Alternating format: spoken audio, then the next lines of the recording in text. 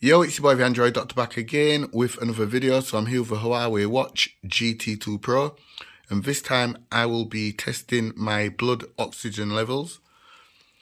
So let me just go into the SpO2 monitor.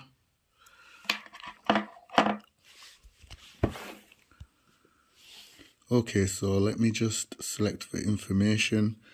Okay, so this just gives you a rundown of what it's all about. So about blood oxygen saturation, blood oxygen saturation, SpO2, is the percentage of hemoglobin in your blood that contains oxygen, HbO2, and is a basic vital indicator. And just below it, we have the different indicators there. So red, obviously meaning danger amber obviously meaning it's in between red red and green. Um, so 70 between 70 to 89 percent would be probably considered normal i guess. And then 90 percent there would be good.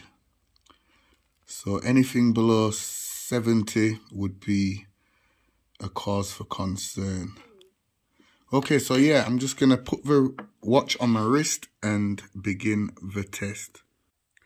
Okay, so let's go ahead and measure.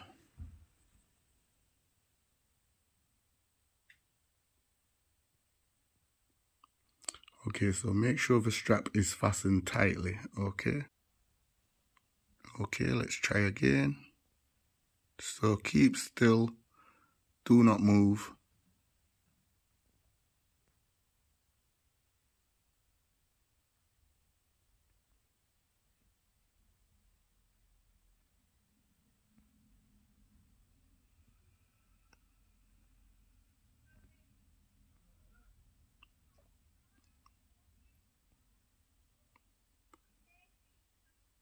Okay, so measuring is complete and mine is 99%.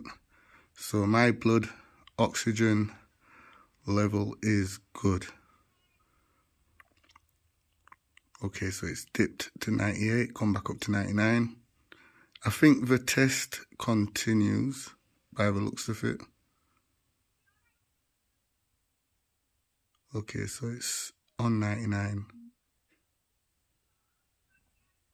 Oh yeah, that's it. The test is now complete. So yeah, 99%. So that's pretty good. So remember, anything below 70 is a cause for concern.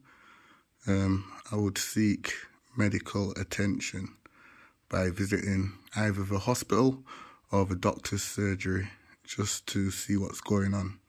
Anyway, that's it for the video, guys. Be sure to give the video a thumbs up. It's your boy, the Android Doctor and I'm out. See you in the next video.